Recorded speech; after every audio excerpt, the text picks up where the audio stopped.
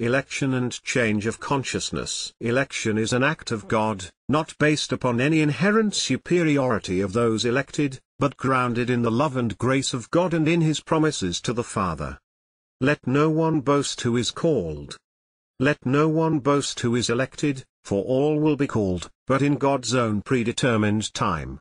So tonight my subject is election and change of consciousness. God speaks to man through the medium of dream and reveals himself in vision, and we are past masters of misinterpreting his words. A dream is a parable containing a single jet of truth. Don't try to give meaning to every word or event of the dream. Perhaps there will be several dreams, several stories in a single dream, then each story contains its own jet of truth. Let me share one such dream of a friend. Her dream is in three parts. It is a wonderful dream on the higher level. The lady states I found myself in an old, comfortable farmhouse. Outside an old horse grazed in the sun and an old dog slept under a tree. Suddenly a man appeared at my door and said you have been chosen and must leave this place. For a moment I panicked. What would I do about the house and the animals outside? Perhaps I could sell them or give them away. Then the man, having read my thoughts, said no, you cannot sell them or give them away. You must leave them as they are, and your leaving must be voluntary. The moment I chose to leave, the scene changed and I am in an entirely different world, talking to a man and a woman. They tell me that I must play three games, of which two have been completed, although I couldn't remember playing them. Now standing in the center of a beautiful green field, I see an enormous mountain in the distance. I am told that I must run across this field, gather anything I can along the way, and reach the top of the mountain in 10 seconds. Then I must interpret what I have accomplished along the way. Scooping up a few stones, I began to run, stopping occasionally to gather more stones along the way. When I reached the top of the mountain I discovered my stones had become golden nuggets which had fused together. Extending my hand for those who were there to see, I said this is my mind of golden wisdom and they replied you have found the way. Then the dream changed and I am standing gazing at a child lying in a crib. Its head appeared to be indented, as though it had been lying on rocks or sand. Rubbing the child's head, I smoothed its skin and it smiled. Then I dressed it, made it more comfortable, and as I was feeding it I awoke, still seeing the smile on its face. God spoke to this lady in a glorious dream. A house is the symbol of the state from which you abide. Hers was very comfortable. A dog is the symbol of faith. Called Caleb, in scripture, he is the one who crossed the river with Joshua. He is called the hound of faith. Now, a horse is the symbol of the mind. In her case he represented a comfortable way of thinking. Then the man appears to tell her she is chosen. In scripture, God's messenger is always the Lord himself, for my name is in him. So the Lord appeared, not as some strange creature from outer space or as an impersonal force, but as an ordinary man. He tells her she is chosen. Chosen to leave this age, she cannot sell or give her present state of consciousness away. She must voluntarily leave it for another to occupy. Entering an entirely different age, she meets two, and there is conflict until she reaches the mountain top where the God in her reveals the mind of golden wisdom. Now, in Paul's last letter to Timothy, he says the time of my departure has come. Then he mentions three events, saying I have fought the good fight. I have finished the race. I have kept the faith. Like Paul, she has fought the good fight and finished the race, for she has kept the faith, just as everyone will, for it's God who is doing it all. Then she finds wisdom, personified as a little child, he who said before he created the heavens I stood beside him as a little child. I was daily his delight, rejoicing constantly before him and delighting in the affairs of men. Listen to me carefully. He who finds me finds life. He who misses me injures himself. He who hates me, loves death. She found the child. She found life. Animating bodies in this world of death, we are destined to become life-giving spirits by finding life. having won the race, having kept the faith, having fought the good fight, she has found the child. Don't be concerned about all the little pieces of a dream, simply see the symbols present there. Now let me repeat once again scripture is not history, and the characters depicted there are not persons, but personifications of eternal states of consciousness. We all started this journey into death in the state of Abraham, in the 23rd chapter of Genesis it is said that Sarah dies and Abraham becomes a sojourner in a strange land for 400 years. Called the father of the multitude, God promised Abraham that he would return, bringing all with him. Going to the Hittites, Abraham tells them he has no land to bury his wife, and they say hear us, my lord, you are a mighty prince among us. Take the choicest of our sepulchres, None will withhold his sepulchre from you, or hinder you from burying your dead. May I tell you every child born of woman is God the Father, buried in the sepulchre of the Hittites, called Canaanites. Every black man, every white man, every nationality, race or creed born of woman, is a Canaanite where God the Father is buried. This was a deliberate act, not a punishment. Listen to the words in the 82nd Psalm God has taken his place in the divine council where he holds judgment saying you are gods, sons of the Most High, all of you, nevertheless, you will die like men and fall as one man, O princes. We are the ones who deliberately fell into these garments, these sepulchres. A god is entombed in every skull. You didn't begin in your mother's womb, you are buried in the body your mother wove for you and from that sepulchre you will be called in fulfillment of God's promise. So let me repeat election is an act of God, not based on any inherent superiority of those elected, but grounded in the love and the grace of God and in his promises to the Father. It is to the Father that the promise is made. Everyone has been promised that he will die and will be raised from that state. Everyone will be called from the age of death to once again enter the age of everlasting life. This lady has been called. She has been chosen and all the events recorded in Scripture will take place in her. It thrills me beyond measure to know that in this small circle so many are being called. Everyone will be called, for God is in them and God cannot fail to lift himself up in every one. Having pled all the states, as everyone must, you will have kept the faith and God will keep his promise and lift himself up, in you just as he laid himself down in you. It is the God in you who said no one takes my life, I lay it down myself. I have the power to lay it down and the power to lift it up again. As God's power is lifted up in you, you depart this age. Now, in another's dream, he is driving his wife's car over a mountainous road. Suddenly the hair on the back of his head catches fire and he turns and rubs his head against the back of the seat to put out the fire. But in so doing, he loses control of the car and it goes over the cliff in slow motion. Seeing that the fall is about 300 feet, he opens the door of the car and jumps, saying to himself this is a dream. I am. With that thought in mind he descends to the ground below as light and softly as a flake of snow, and awakes on his bed, saying to himself I have had this dream three times, and each time I have written it to Neville, but this is the first time I have awakened in the dream. What is the single jet of truth in this dream? He is riding in his wife's car. A wife is that to which I am is attached. A state which bears my name.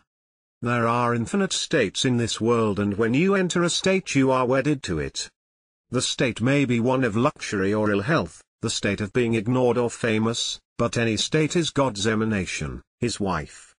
The dream denotes a departure from the state in which the God in him has been residing, into an entirely different state.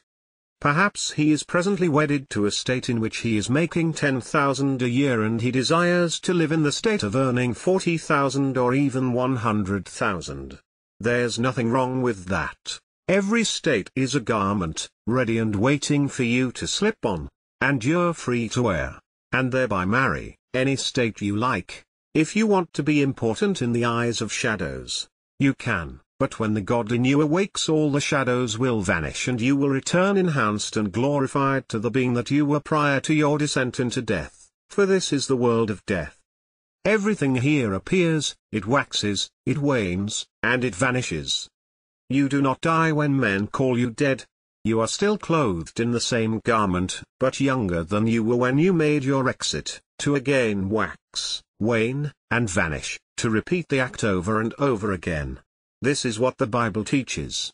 Read the 20th chapter of the book of Luke. The sons of this age marry and are given in marriage, but those who are accounted worthy to attain to that age neither marry nor are given in marriage, for they cannot die any more. There are two distinct ages. We remain in this age, experiencing states over and over again until we are elected and called to enter that age. And because you are so unique you are called one by one, for no one can take your place. You are a part of the body of God, the God who deliberately fell, the God who, reaching the limit of contraction, buried himself in his chosen sepulchre your skull, from which he will rise as promised in the beginning. I say, ye are gods, sons of the Most High, all of you not just a few, but all of you. Nevertheless, you will die like men and fall as one man, O princes. Now I say to you, O mighty princes the sepulchre you chose was paid for by four hundred shekels of silver. Four hundred, in Hebrew, carries the sign of the cross. The price God paid to become you. When Abraham entered the sepulchre, becoming a Hittite, God died by completely forgetting who I am. He didn't pretend, but buried himself in your skull and died, there to remain until I am born from above. Then memory returns. But until that time, no matter what position he plays in the world, he does not know who he is. You can be the wisest of the wise, the strongest of the strong, and still not know who you are until God awakens in you. He has taken the foolish to shame the wise. He has taken the weak to shame the strong. He has taken those who are low and despised, even things that are not, to bring to nothing things that are. Jesus Christ is defined as the power of God and the wisdom of God. He is our source, having been made our wisdom, our righteousness and our redemption. God's own power is Christ Jesus. His own wisdom is Christ Jesus, and he has made Christ Jesus your wisdom and your redemption. Therefore Christ in you is the hope of glory, for when Christ returns, God has gathered his creative power and wisdom back unto himself, that power and wisdom which was buried in man. My friend, in her vision, brought her golden nuggets back to the top of the mountain, where all of her experiences in the world of death were gathered together and fused into the one mind of golden wisdom. So God enhances himself, having reached the limit of contraction he expands. Having reached the limit of opacity he becomes translucent, therefore, he is far greater than he was when he fell into the Hittite. When a little child is born, he lives because God buried himself in him. Do not think that because someone is going to the gas chamber tonight he is less than you are. Do not allow anyone to pull his rank on you either, for no one is important in this world. There is no one but God who is buried in every person in the world, and every person is equal. So let me repeat election is an act of God, not based upon any inherent superiority of those elected, but grounded in the love and grace of God and in his promises to the Father. Everyone was promised that he would be redeemed, and God has kept his promise. Christ Jesus in me is God's power and wisdom, and when redeemed, I am he, for everything said of him I have experienced. I still wear a garment called Neville, but I have awakened to another age. I am still the same man in the world of Caesar.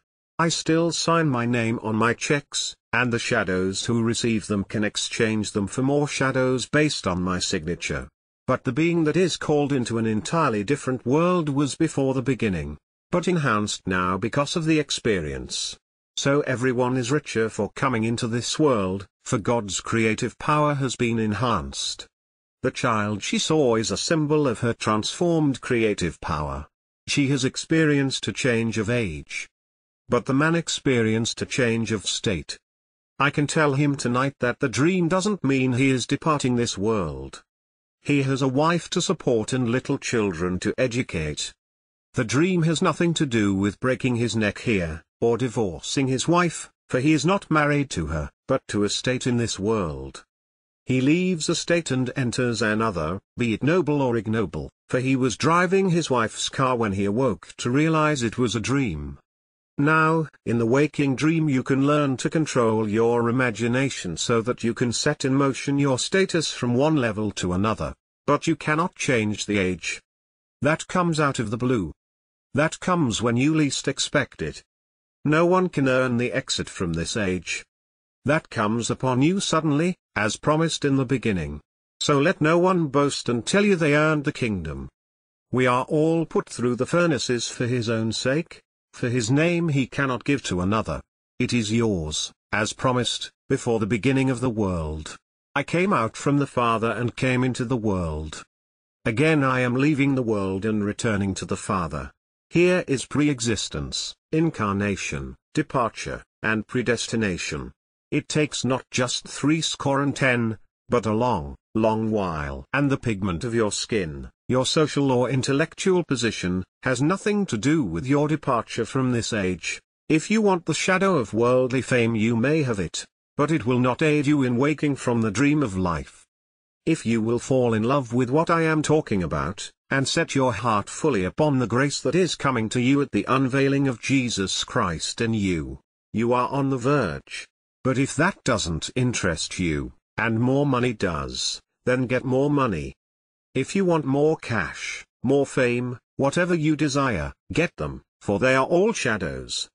A big home is a big shadow, and a little home a little shadow, so it doesn't really matter. But tonight, dwell on these two. Like the lady, you cannot earn, any more than she earned it, for she was called. But like the other, you can leave the state to which you are now wedded. How do you do it? By the act of feeling. Feel the tones of reality that would be yours were you wedded to the state of your fulfilled desire. What would the feeling be like were you the person you would like to be? Feeling moves you from one state to another. Everything is a state which is real, yet invisible. Not knowing this, and seeing no evidence to support your desired state, you may return to the former one expecting the new state to happen now, you don't remain faithful to it. But if you will remain there until it becomes natural to think from that state, it will be born in your world. There is a period of time between your entrance into the invisible state and its visibility, and it has to come. Everything has an interval of time. The vision has its own appointed hour. If it seems long, wait. It is sure and it will not be late. A little sheep takes five months, a man nine months, a horse one year. All these are fixed intervals of time. How long will it take for a state to become objective? As long as it takes the nature of that seed to hatch. All you are called upon to do is to go into the state and remain there psychologically. Although you will continue to physically walk the earth as one person, as you think from your desired psychological state, it takes on physical tones and becomes a fact in your world. This is how you move from state to state as you wait for the promise of God to fulfill itself. On that day you will be called and incorporated into his immortal body to express a far greater translucency and expansion than you knew prior to the start of your journey into the world of death. I can't tell you the thrill that is in store for you when you experience the embrace of love. There are no words to describe it, but as you embrace, you fuse to become one body, one spirit, yet without loss of identity. Everyone will be called into that same union. Everyone will experience the end of the journey, for not one will be lost in all my holy mountain. Now let us go into the silence.